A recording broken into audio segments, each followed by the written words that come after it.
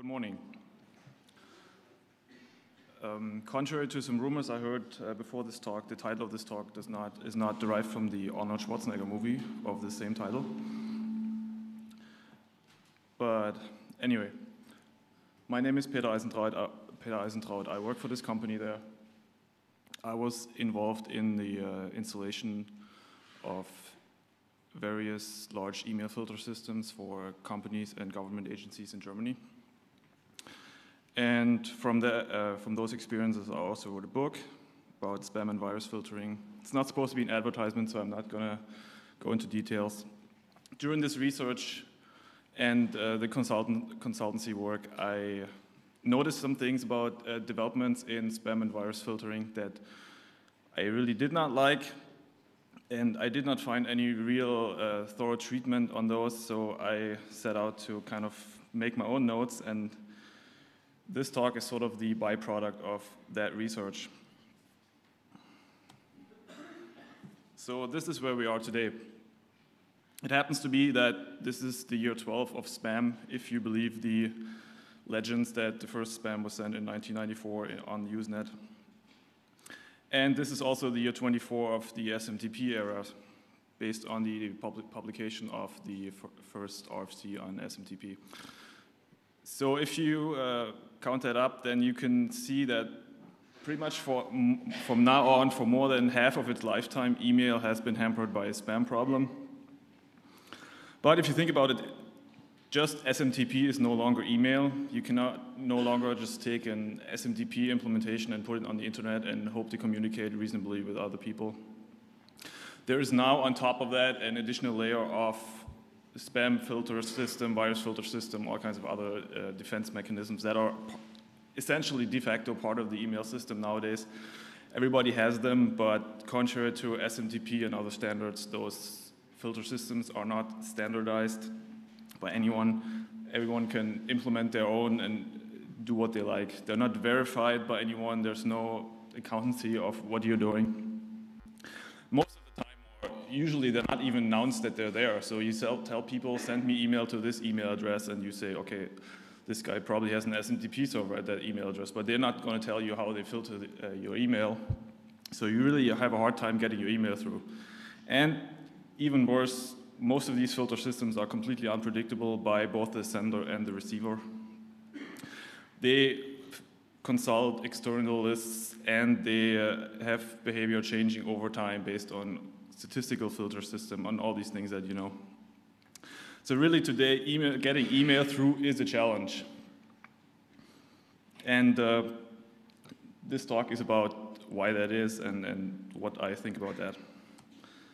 So here are a couple of filter system uh, filtering techniques that people have used or that are, people are considering right now that uh, I find uh, questionable. Some of, the, uh, some of them are kind of obvious if you know them, but some of them you might wonder why they are here, and uh, I'm going to explain why why they're here. The second part of this talk is a couple of uh, legal issues that are also uh, of concern to me. And, but first, the technical side. So, the DNS black hole list, everybody knows them. They are sort of the first technique specifically invented uh, to fight spam.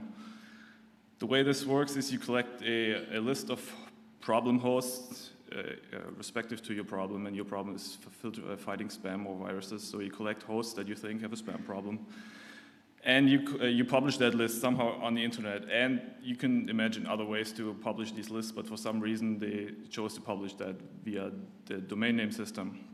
And every mail server on the internet can query those lists, and if a host is listed, then according to the theory, you can just block email from that host. Now, in the beginning, this was uh, sort of reasonable. The first uh, DNS black hole list was the MAPS RBL. And they had a very conservative policy. They, they did inspections all manually, and they tried to contact the, uh, the offending, uh, the host master of the offending site and try to explain the problem. And then if they did not react in a reasonable way, they ended up being listed. And that was reasonable. In those days, most of the people on the internet use SendMail, and SendMail back in those days was by default configured as an open relay, so there was a lot of open relays on the internet being uh, abused to send spam. And so the uh, MAPS RBL was sort of as much, uh, as much a spam fighting uh, mechanism as much as an education program to educate people about the problem of open relays. And the open relay problem nowadays is pretty much gone. Even SendMail and all the other MTAs that you use have safe default configuration more or less. And, and, if you have an open relay or a related problem, you really got there on purpose. The spam problem nowadays is uh, zombies.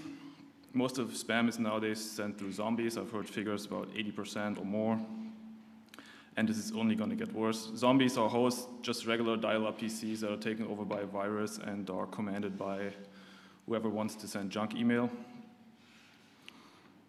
And it's, nowadays it's impossible to do manual uh, inspections just because of the sheer volume. The internet has grown a lot over the, last 10 years, and uh, that's why most of the DNS black hole lists nowadays are fully automated. There are some where you can actually, everything you submit is automatically listed, and everything you nominate for deletion is automatically deleted. So that's, that's particularly bad.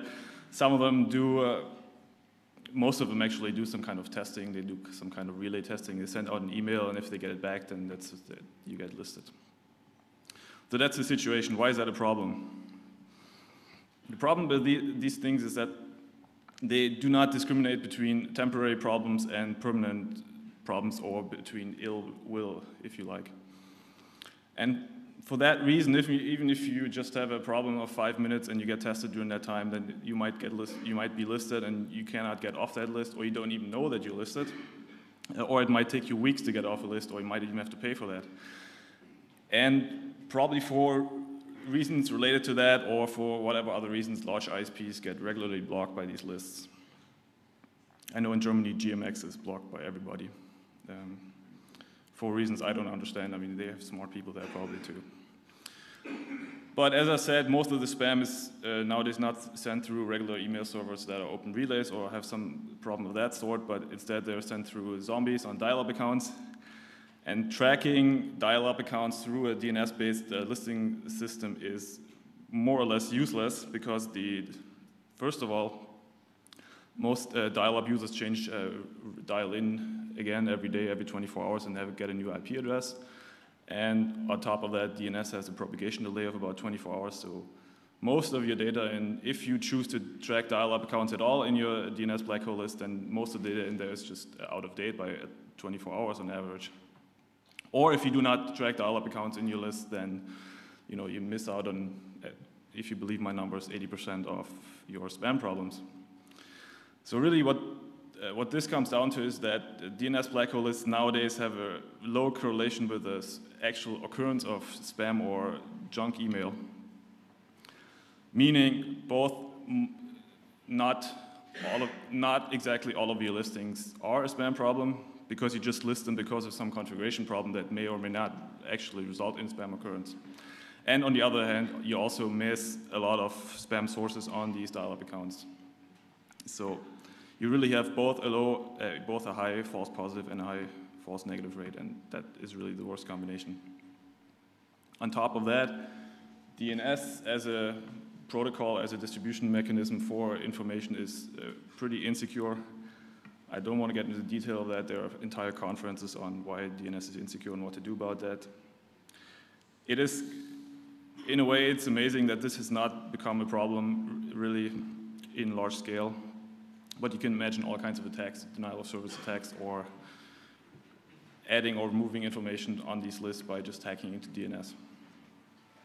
So my opinion on all this is that using DNS black hole lists in the original way, if it's listed, then you just block the communication with that host altogether. That is uh, completely inappropriate today.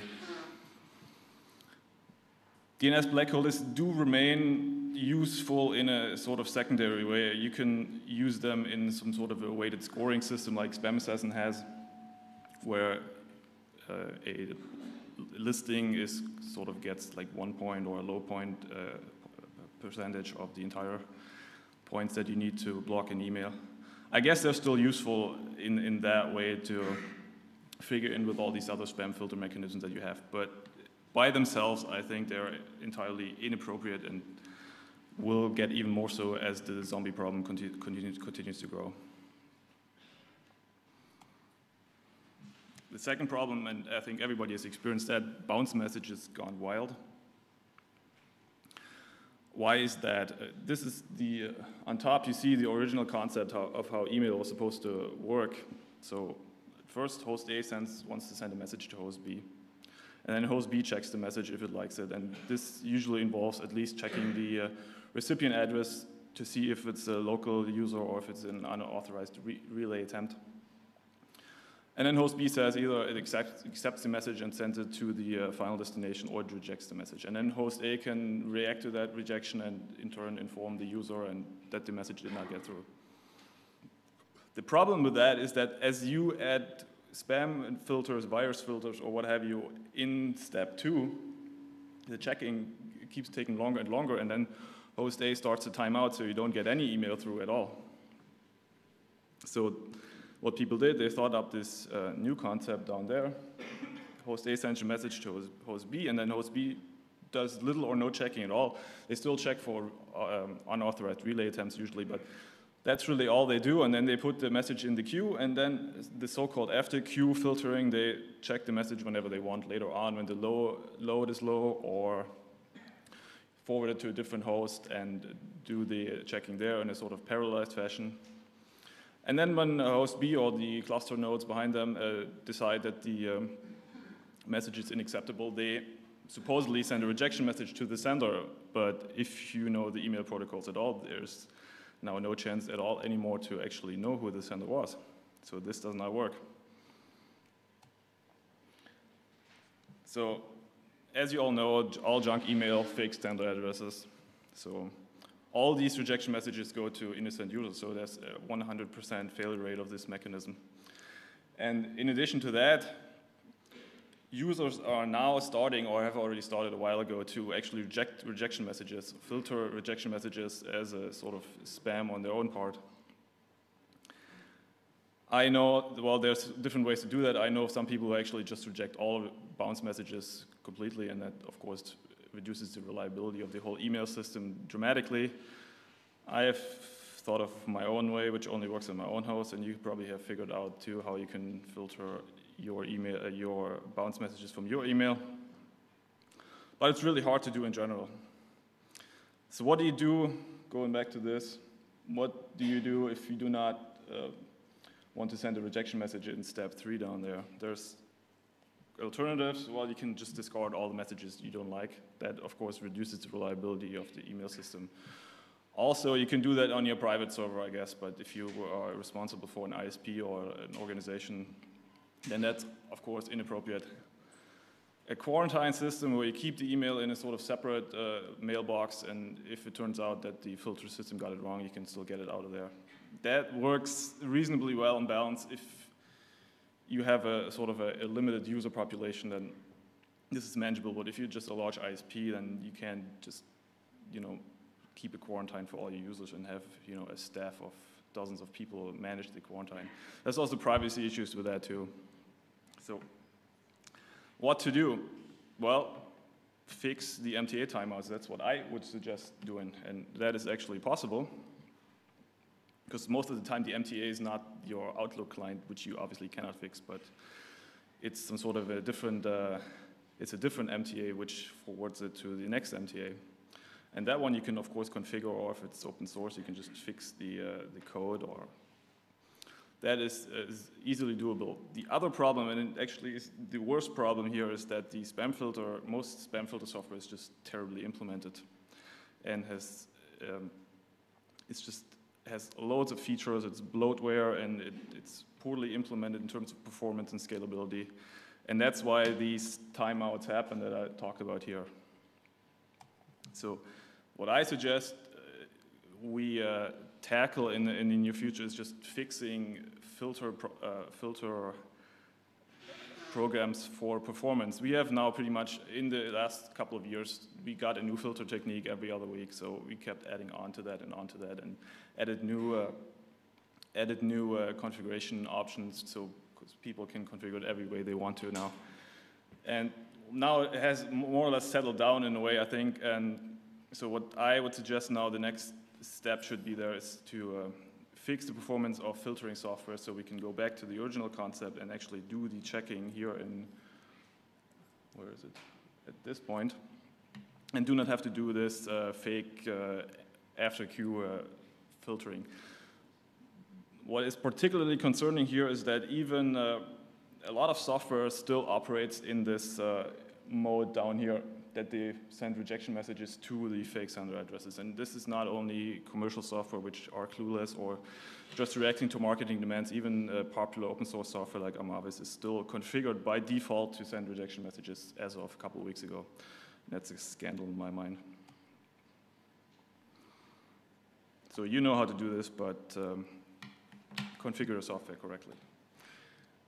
Gray listing. Gray listing is actually nice, but there's problems with that too. How gray listing works is if you install a gray listing mechanism on your mail server, then the mail server sends to all new emails sends a temporary error on first contact, which would be a 400 type of error code. And then a normal SMTP client is instructed to try again later, and that's usually in about 15 minutes or so. But spamming software, especially these uh, virus-born zombie uh, spamming software, does not do that. So that email is just lost, which is what you want. And that turns out to be extremely effective. In some installations we manage, we've seen just the email volume drop by 80% just because of that. And I've seen other reports of other people, uh, approximately those same numbers.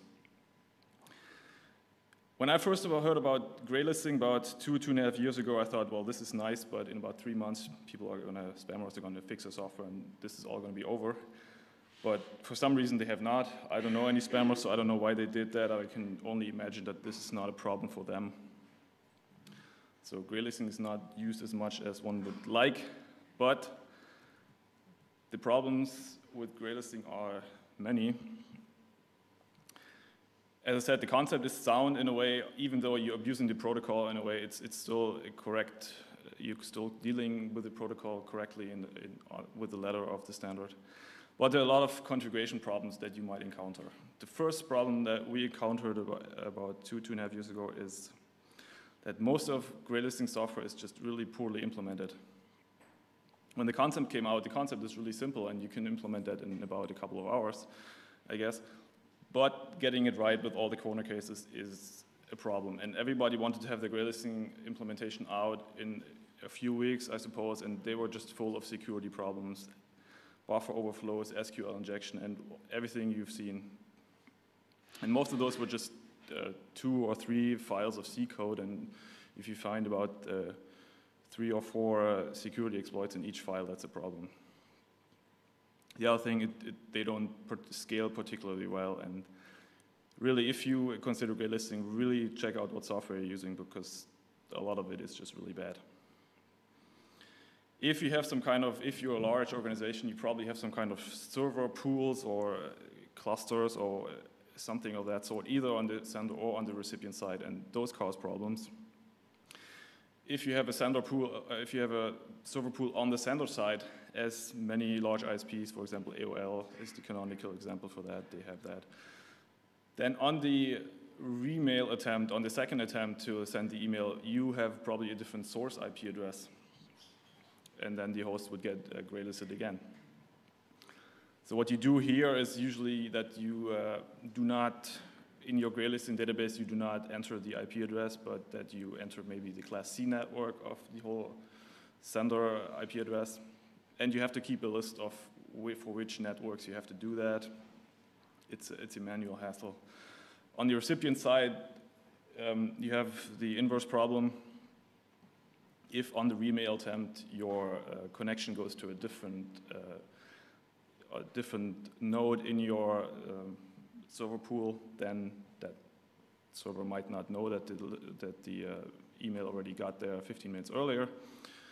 So what you have to do there is either you could imagine that you do a kind of, a, you do not do a round robin or load balancing in, in a strict sense, but you decide which node to go through based on the source IP address. That might work, but it doesn't work if you have a server pool on the sender side. So what you have to do is you sort of have to share your gray listing database between all those nodes, which is of course a scalability problem. Then there's broken MTAs which do, just do not retry after a temporary error. There's uh, the canonical example for that is the Yahoo Groups um, site. And you might think you do not care about Yahoo Groups, but maybe your users do. So, and there's more of that too. There's the other problem is uh, related to that is mailing listing software, which does, has a new sender address on each send, uh, sending attempt. They put some sort of numbers or some sort of code into the sender address. And you have to keep a, a list of, of sites that do that too. So you have now about these four different cases, and there's more, but those are the canonical cases in a way. You have to keep a, a whitelist or a, at least a list of sites that do that in order not to, uh, so they can circumvent your gray listing um, um, implementation. And there's a list you can download of that from graylisting.org, but you would think they, that list would have stabilized. But if you look, they have a CVS there or an SVN maybe nowadays, and they keep committing into that with new entries every day, every other day. So you really have to uh, stay on top of these things. Another problem with uh, gray listing is, in general, is time-critical emails. For example, uh, the uh, canonical example of that is the eBay emails that you, your auction is or your bid is about to expire or what have you. And well, what you could do there is you could also whitelist email from eBay, but then of course 50% of all spam probably fake sender addresses with eBay, eBay domain. So that really would not work well. So if you have time critical emails with eBay or some other large site, I, I guess you can't really use gray listing. Another, well, rare, rarer problem is multi-stage relays. If you have just have a series of servers that your email goes through, of course, you, you should not gray list in each one of them. That is just something you have to consider also in the configuration. So what I think, well, if on your on your private server or in your small group, maybe gray listing works, or if you have a if you manage a server of a company and you know all people only use email for company pur purposes and, and you can, they don't use eBay at work. Maybe gray listing is appropriate, but just for general ISP or if you have a diverse user population which have different needs, I, I think gray listing just can't be used reasonably. Which is unfortunate, but um, do, do be careful if you consider gray listing.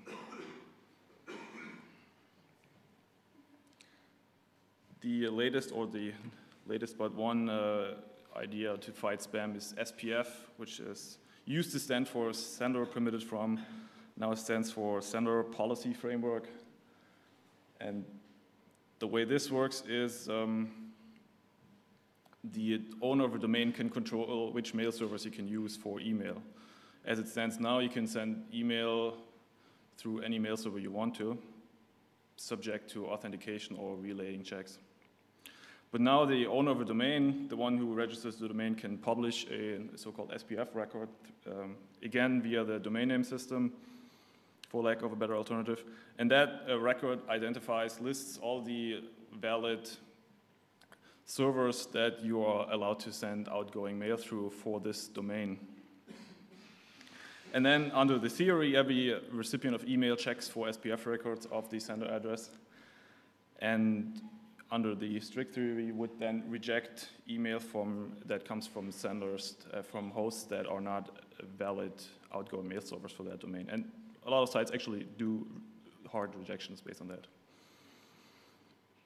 Then there's actually two alternatives or two um, sort of implement, separate implementations of this idea. The uh, original SPF checks the envelope sender address there is the alternative Sender ID, which is uh, championed by Microsoft, uh, which has a, a different uh, internal uh, record format too. They do not check the sender envelope address, they check the email content, so they would check all these different lines, sender, from, and all these things, and would kind of try to guess which is the most likely uh, sender address. Those are two different um, uh, ways to go about that. Sender ID has the problem that there's also patent problems and licensing, licensing problems from Microsoft, so it's not used all that much outside of Microsoft. But they're sort of the same idea. The problem with SPF, it doesn't fight any spam at all. Because if you're a spammer, then you would just use a different domain. If you are, you have a, as a spammer, you have a list of, of email addresses or domains that you might like to use in your fake your sender email address scheme. And then for spammer, it's, it's trivial to just, before using a, a, domain, check if there's an SPF record, and if, if there is, just don't use it. So that's, that's fully automated, and I suppose spammers do that, so that's just a total waste of time then. Of course, spammers can also publish their own SPF records, and they, and they do that. They register their own domains for the purpose of you know, what they selling their products, and they can publish SPF records for their own domain, hosting their shops. So there's absolutely nothing that SPF, if spammers are not completely stupid and send spam using domains that have SPF records, if they're not that stupid, then, spam, uh, then SPF does not do anything at all against spam. If you go to the SPF website, which is openspf.org nowadays, you will see what they actually say is uh, SPF is a sender policy framework to uh, prevent email forgery. So they actually, if you read between the lines, they know it doesn't fight spam, it only prevents email forgery. And it actually does that in a way, but you might think SPF does something against phishing, but if you think about it, the envelope address, nobody ever sees the envelope address. In your email client, you don't, you don't see the envelope uh, address, so it does not do anything that the user can notice. There's no noticeable difference for the user whether the email uh, sender address of the email was forged or not. So that's also pretty useless. Sender ID is better in that regard. I don't, I don't have any practical, practical experience with sender ID, but it would seem to be a better approach to actually fight this phishing problem. What SPF does uh, prevent in a way is the following. If you're uh, an ISP and you have a domain and uh, for large ISPs, the domain is often abused in, uh, for email forgery attacks, so AOL and all these kinds of things. You have sender addresses with AOL, which are faked. And by publishing an SPF record, the ISP can sort of prevent that people do that. So if you publish an SPF record, and if you're a spammer and you follow that advice up there, then people would use a different domain. So you kind of protect your own domain against being abused by fake, uh, for faking email address schemes. And that is really the only thing that it does. And I suppose that's the reason why these large ISPs publish SPF records, all of them together, because it kind of protects the integrity or the reputation of their domain. But it does not do anything at all against the actual phishing problem or virus or sending spam. On the other hand, what it does is it breaks the conventional email protocols in various ways. For example, it breaks uh, forwarding. Forwarding meaning something like your dot forward file that you forward from your own one Unix account maybe to a different email address or from your dot procmail RC configuration or any other kind of forwarding scheme like that. Because then your own, this uh, host that you forward from would probably no longer be a, an authenticated, an authorized um, uh, sending email host in that domain, unless you can convince your large ISP to add your own uh, personal machine into the SPF records, which is not likely to happen. And there is supposed to be a way around that, the sender rewriting scheme, which nobody has implemented so far. There's patches out there for all the different MTAs, but it's not available really. So it basically just breaks forwarding right now. What ISPs can now do is they can control which way people send email if you uh, until now you could pick any email server you want to for sending your email, but now if you if you use the domain of your ISP, if you have some sort of username at I don't know t-online or whatever email address, the ISP can now say you have to send your email through this mail server that we like and we put there. And that is a problem. That could be a problem for you for various reasons for example, if that particular email server through stupidity is on a DNS black hole list, you have no way around that anymore now. Because if you send it a different route, then the sender might block it because you have SPF records. And they can also do other kinds of things. You can imagine they could put advertisements in the bottom of the email, which you can no longer prevent. They can, of course, they can record all your email traffic, and, and since a week ago, we know that they will record all your email traffic, so you have no way around that anymore. You cannot install your own email server or any of the other suggestions that, that were offered yesterday in, in another talk. And again, DNS is a fairly insecure protocol, and the more services we stack on top of DNS, the more likely it is that there's uh, going to be a large-scale problem one of these days. So really the only thing I have to say about SPF or sender IDs, do not use it. Do not publish any SPF records because that just encourages people to use them. And do not, under any circumstances, filter your email because of SPF. Unfortunately, now, uh, since uh, Spam Assassin even now does SPF filtering by default, I think, since version 3, so I don't know what they were thinking, but please consider carefully anything you do with SPF.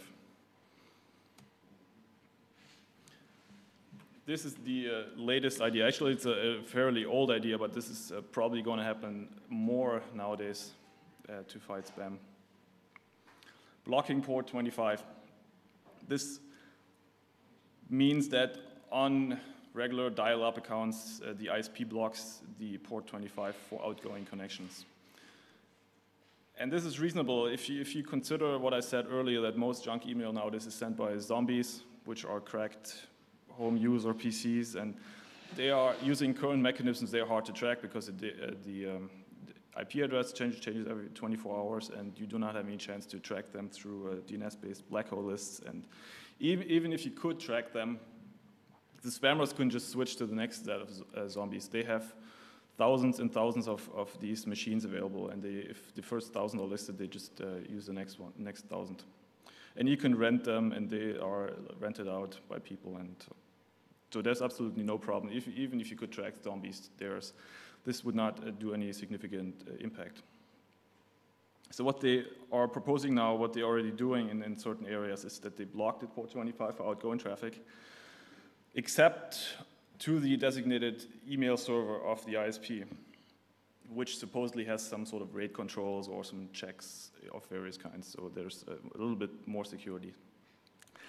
And this is actually not so bad because for a, it actually indirectly adds more security to, for the regular end users, the dial-up users of that particular ISP because a, a, well, a virus writer or someone who tries to target these uh, machines for, for owning them is um, really, they're not, no longer an attractive target for doing that because even if you could um, have take control of these machines, you cannot really do the things you want anymore. Of course, there are other way, other things you can do uh, uh, if you have taken control of a, of a PC, but for the purpose of sending out email, they are no longer that attractive. So, of course, viruses do not really discriminate on on that level, but there's a certain extra level of security for for end users. So again, as I said, it's, it's not all that uh, bad idea, but there's, uh, of course, also problems with that. If you want to use email accounts other than the one that your ISP gives you, you know, the regular average users maybe has the dial-up account or the DSL account nowadays, which is also dial-up, at a certain ISP and also has the email, email address there.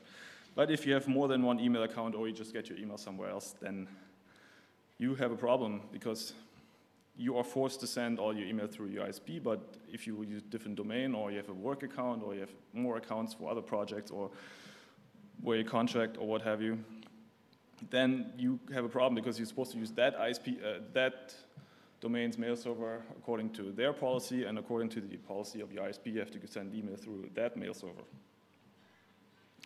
The workaround that is uh, proposed or that is implemented is that the ISPs allow you to route every, any email you want through their mail server, subject to authentication, and that works. But again, now ISPs have the power over you to control where you send your email. You can no longer use your own email server for reasons that I mentioned previously. You can no longer install your own mail server software, your own filtering systems, and if the ISP is blacklisted, you have no way to get around that or if you just want to prevent that all your communication is logged, which it will be. And all of this is also completely incompatible with SPF that I just explained, because SPF tells you you have to send your email through which what the owner of the domain says. And on the other hand, this concept says that you have to send your email through the, what the ISP says. And if those two are not talking to each other, which they likely will not, then you have a problem that you just can't send email anymore for certain domains. so what I suggest about this is, um, and this is will likely happen because people are talking about this now, and, and in the US for certain email servers, it's already happening. Yes, question? Yeah, but no, uh, the question was, uh, the question was, or the comment was about SMTPS, but I don't know what exactly you mean by that, or how that figures in here. Yeah, when, when you go this, uh, not use SMTP, but SMTPS was a spam, or you mean SMTPS, which is quite, often. Going through a different port, you mean? Yeah, of course. Yeah, that's really what I, what I was going to say. Is uh, yesterday, I don't know uh, what was his name, Brent de Winter, who talked about the uh, data retention uh, um, legislation in the EU, and he suggested just use a different port. If you if you send all your stuff through port 26 or 24, then it's not considered email anymore, and it's not logged. And the same really applies here. If you can just use a different port, put your own email server out on the internet, and use a different port, or use other SMTP-like protocols that go through different ports and I guess they can also block all the other kinds of ports, obviously. But what this, uh, what this does is, um, obviously spammers are interested in spamming people who use port 25, right?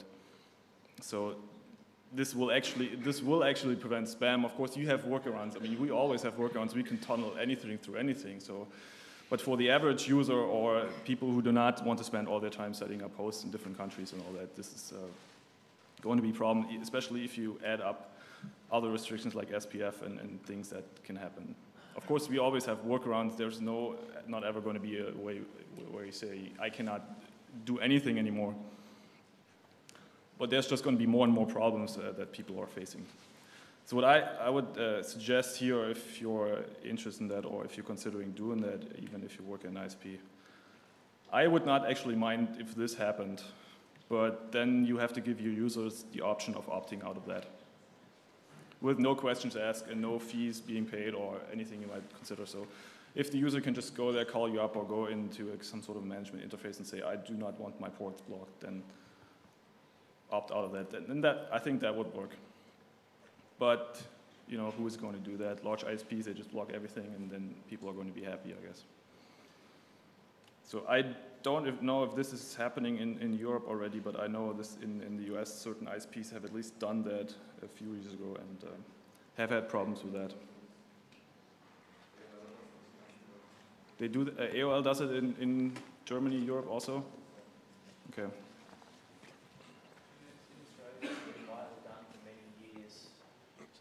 In Australia, it's been widely done for many years. I've been on this for about four or five years, something yeah, like that. This has been uh, going on for a, a, while now in certain areas, but uh, I was at a conference uh, in September on uh, spam issues where a lot of government uh, people were there, and they are now discussing making this a well, they can't force you to do it, I guess, or they could try to, but this is going to be sort of like the official recommendation nowadays or something like that. So but, it but might happen in more places.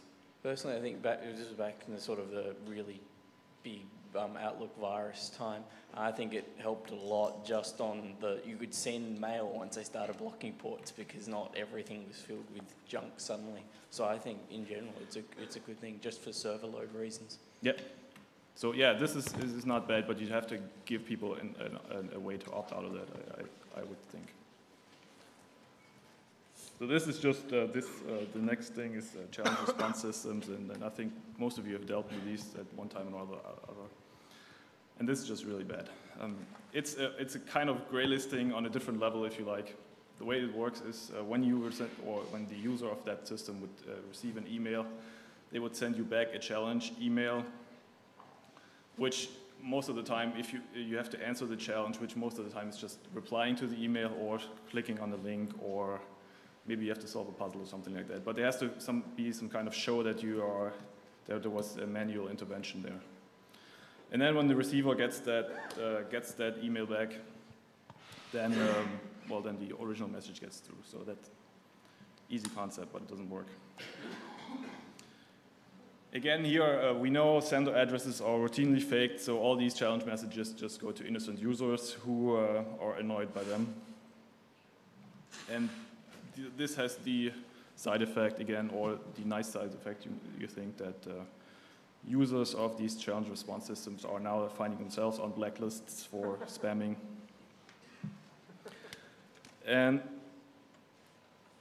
so yeah, this, uh, these, uh, if you believe that spam is now more than 50% of, of, of email, then fi about 50% of, there's 50% of just useless, annoying mail being sent to innocent users. Spammers are getting smarter and smarter and they can actually fake their emails to get around these authentication uh, mechanisms. They can analyze email traffic and figure out who talks to whom and guess what kind of sender addresses are already might already be authenticated or figure other ways around that. So spammers really, if, if they're a little bit intelligent at all, can figure out ways around these systems. The other problem is, is just at the concept that apparently two people who use these systems can never start talking to each other because the second system would just send back a challenge and the other guy is not going to accept the challenge. So there has to be some sort of a loopholes in these systems that the challenge messages of the other system can get through your own challenging system without any challenge. And uh, of course, that is you can also exploit that if you are trying to, uh, to write spam or send some sort of email through that you do not want to be checked. And uh, challenge response systems would also re require installing loopholes in, in spam filters so your challenges are not filtered as spam. And anytime you are uh, requiring installing a loophole, uh, loopholes can be exploited.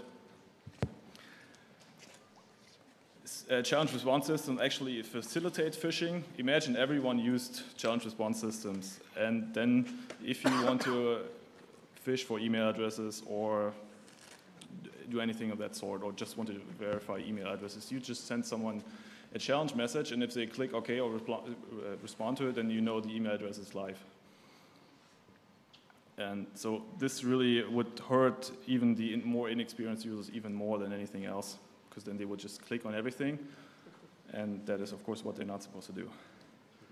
And then you also have to consider that uh, tracking these challenge response systems, there's emails going back and forth, and you have to keep track of all that. And those systems are installed on your on the ISP on the machine of your ISP, and they have extend, keep track of extensive databases they know when you received email, when you responded to email, and what time you were home, and these things. And that's just more and more data being gathered.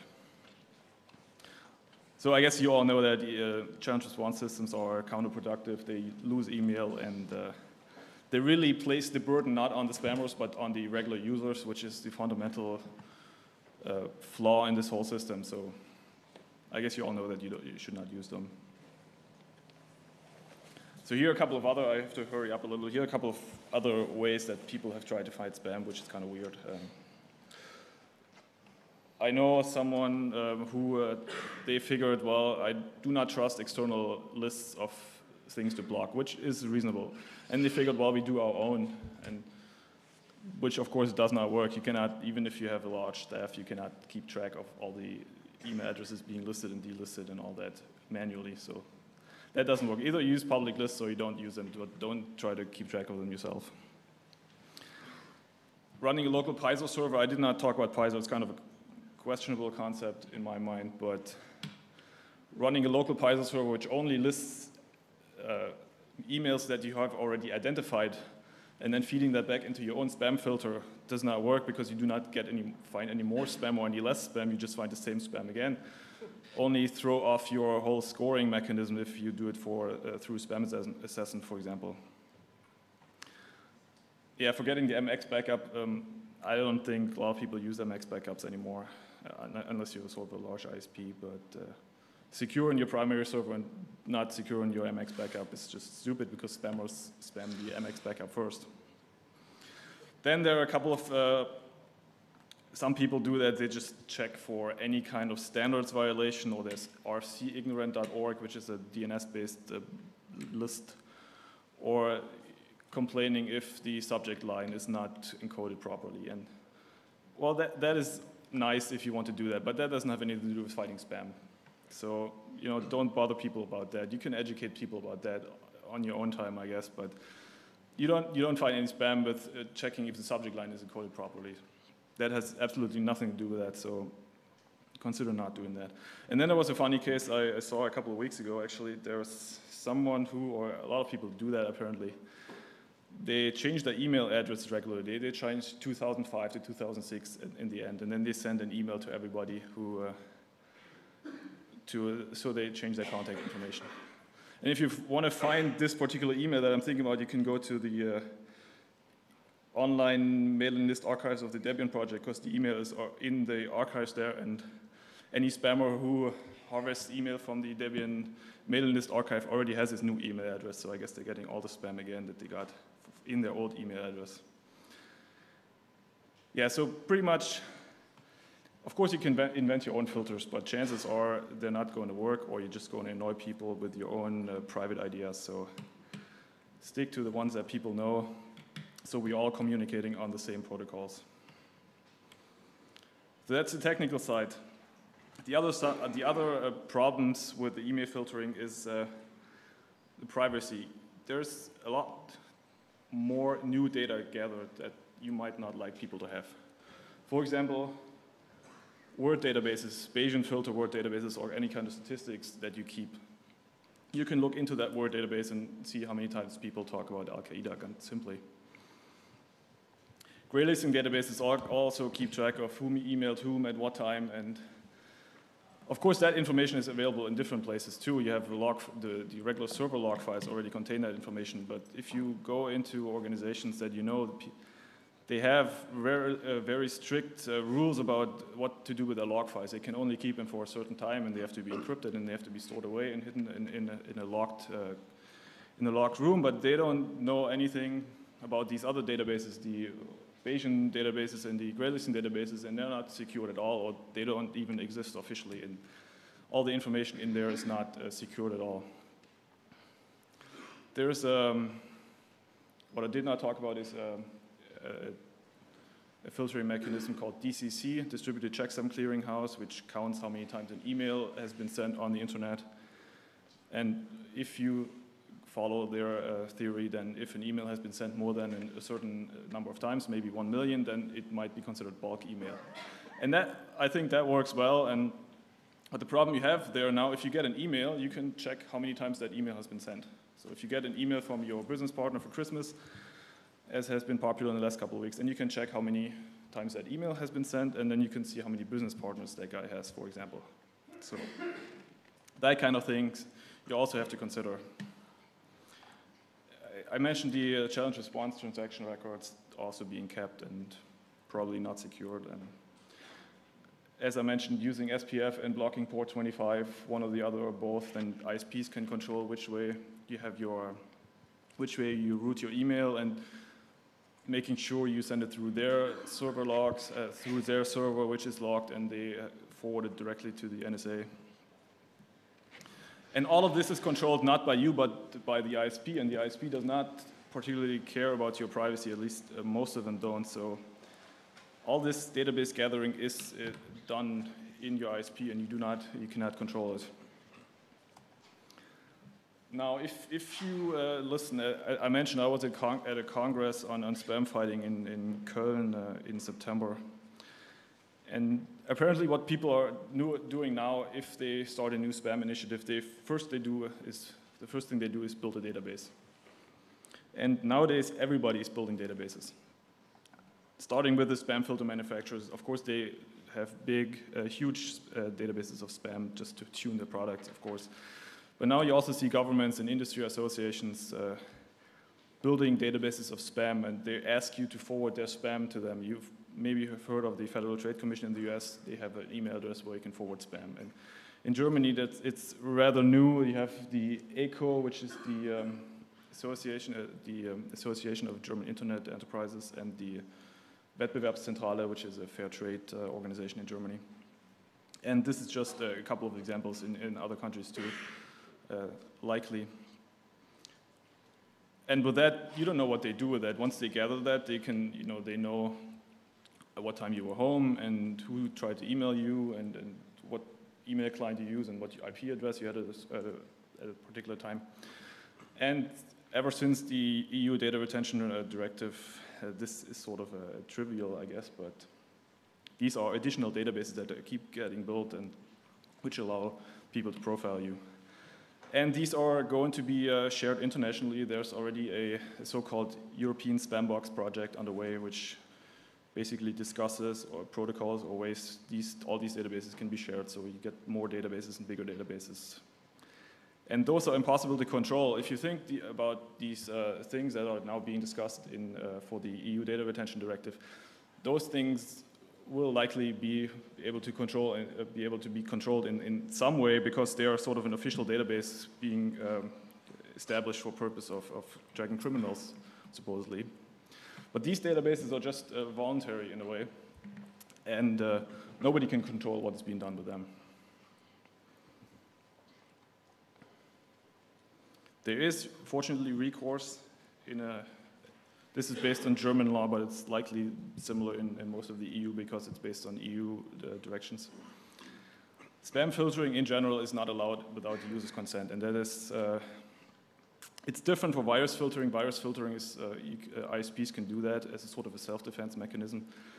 But spam filtering is not allowed at all without uh, the user's consent. And this not only includes discarding um, spam, this includes adding headers and changing the subject line, or even just graylisting and, and delivering the email 15 minutes later. All of this is not allowed based on telecommunications regulation and Fernmeldegeheimnis and these things. So what ISPs must do is they have to tell people about what they are doing with their email. This is usually probably hidden somewhere in the business rules or allgemeine Geschäftsbedingungen or things like that, or people have to activate filters themselves by checking some sort of a box, please filter my email. So you really have the opportunity to uh, know what is going on with your email in terms of um, filtering or restricting it or changing it. As usual in these cases, most users are not going to care. The regular end user is just glad that they don't get any spam and they will check filter on my email, but uh, so this is sort of a call to you, maybe the more experienced users, to spread the word and then tell people what is happening with their email and where their data is being collected and in which ways their communication is being restricted. So to conclude, in my opinion, email is uh, very unreliable already today. Much of this, what I've talked about, is also based on personal experiences, just in my own email box users are starting to accept that email is unreliable. They say, well, I don't think I got your email. I think my spam filter ate it. Could you send it again or could you call me up? And this is really a, a bad development. People are looking for alternatives to email. They are using instant messaging or sending fax, uh, using the fax machine or voice over IP or what have you, or SMS. To blame are, of course, those people who send spam or viruses, but I think the application, uh, the of inappropriate junk email filters, annoying people through challenge response systems or bounce messages or restricting their communications in certain ways. If you, if, if you can't send email on the first try because something is blocked, chances are you're not going to try again, just call the person up. So if you are implementing uh, email filters, check what you're doing first. Do not install everything. Do not believe everything Spam Assassin installs for you or do not believe all the options that your program gives you. Uh, check what each technique is doing and how this impacts yourself and your users. Check all the, if you work in an ISP, check all the databases that you have, that they're secured. Check that the graylisting database is secured and all these other things. And check what your ISP is doing with your email or the email of your associates. Okay, that is all.